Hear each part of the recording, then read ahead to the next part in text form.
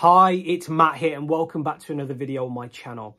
In this one, we're going to be getting quite deep because I want to share with you, this is just my own personal perception and opinion on what I believe happens to us when we cross from this reality into the next. It's the unknown. It's that question that everyone wants to know, but the honesty is no one can factually give you the answer because if they were to actually explore the truth, they would have passed over themselves. So, you know, everyone's opinion on this is slightly different. Mine has been derived from just my own spiritual awakening in the last five years, being able to you know, uh, connect with the other side.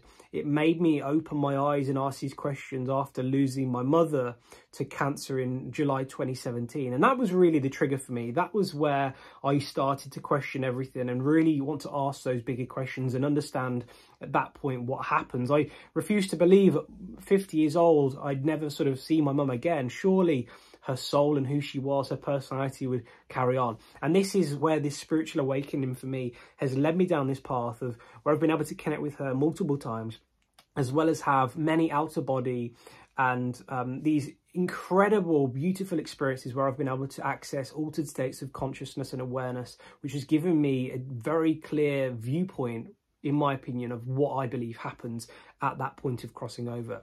Now, in this realm of existence that we know of life right now, it's important to understand that at this level, science has been able to prove that everything is just energy. In fact, I can't give you the specifics, but it's 99.99999% energy vibrating in this universe at a certain frequency. Now, that's really important to understand because you need to be aware that even though we perceive things as physical objects, such as ourself or our personal items, if we were to look at it closely, it's actually just energy. The human body is a condensed form of energy vibrating at a certain frequency. And if you were to look at it really closely, it's just molecules, atoms, right down to energy. So you've got to then question what happens at the point of crossing over. Because if we're just energy and we break away from this human body what happens to the soul which is just energy? Because energy can't be destroyed. What happens to it when it crosses over? And this is where from accessing these different sort of realms of consciousness i've been able to have this very clear view on what i believe happens. And I, this is what i believe happens. So there are two stages and two different types of um, ways people pass over. The first, like my mother, is people that are to a certain degree expecting it to happen. Maybe because they're terminally ill and they have time to prepare for it. Maybe they're old. Um, maybe it's suicide, whatever. You know, people are aware of the fact that they are on the verge of potentially passing over or dying or whatever that means. So when those people pass over, like my mum, like my mom's been able to communicate with me and tell me, is that they are greeted by their soul family. They're greeted by their guides, the people that were there for them, looking out for them, their mentors, and their loved ones who were already there. And they are then aware of the fact that they are bliss. They're, they're, they've passed over, and they are aware of that. Now, in contrast, there are the people that are taken from us really abruptly, um, in whatever way that is. And because it's so abrupt and unexpected, those people when they pass over are confused. They're greeted by the same people, but you've got to imagine that they've gone from one reality to another reality and they don't quite understand what's happened.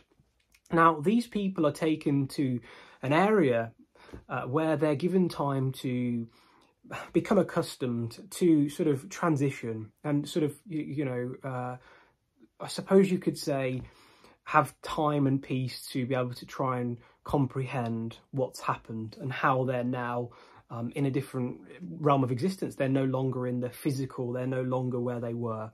Now, either category of people, once they've passed over, once they are meted by their, meet, uh, uh, greeted by their soul family, will be taken to review their life. Now, this is really, really important because my understanding previously, when I started to understand that we review our most recent life incarnation, is that we would watch our life back almost like on a projector.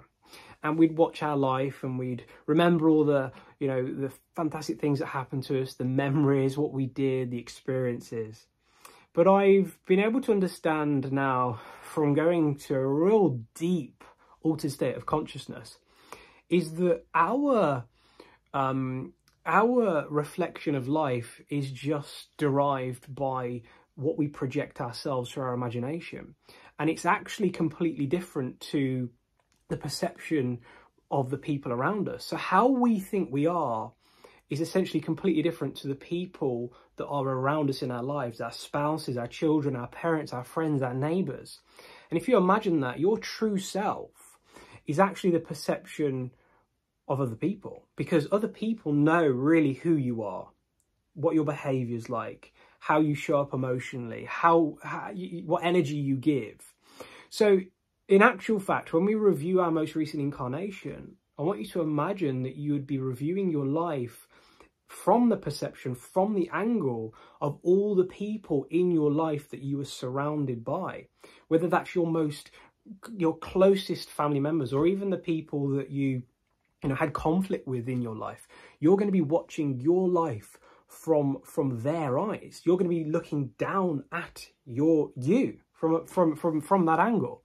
And in that moment, this is where the biggest discoveries, the biggest spiritual growth occurs because we're able to learn we're able to we're able to see how we impacted people in this lifetime and with our guides we'll plan after that and we'll, we'll learn from it and we'll go well we did that wrong you know we we shouldn't have said that there or th- this experience led to to this negative um, experience we could have done this differently here and imagine, um, just imagine how powerful that is. Because if you didn't see it in that perspective and you saw it from your own perspective, you'd never learn, would you? You'd never be able to, to see what you did wrong. Because how many times do we believe we're right in an argument when actually, you know, it could be the other person? You know, and, and we only learn by sometimes stepping outside of ourselves and seeing it from that other perspective. And this is why that we have this really important review because it gives us an opportunity in a moment to reflect and try and work out what we did, what wrongs we did, and how we can evolve spiritually. Because our only goal really is to evolve spiritually. And we will take those moments and we will learn and we will then plan our next incarnation. So again, like I said, this is just my own personal perception on what I think happens. Hope you've enjoyed the video and I look forward to seeing you in the next soon. Take care.